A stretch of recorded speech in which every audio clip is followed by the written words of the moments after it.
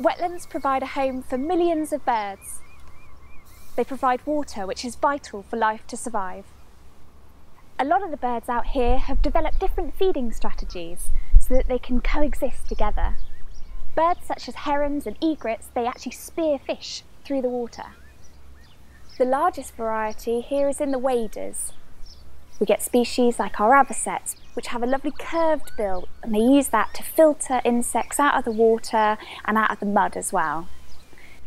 We have species like black-tailed godwits and snipe, which have really long bills. And they use that to poke around in the mud and get those insects that are right underneath.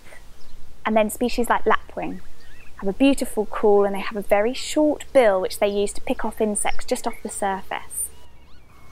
Thanks to the recreation of wetlands around the Ouse Washes, these birds are given a chance to thrive for generations to come.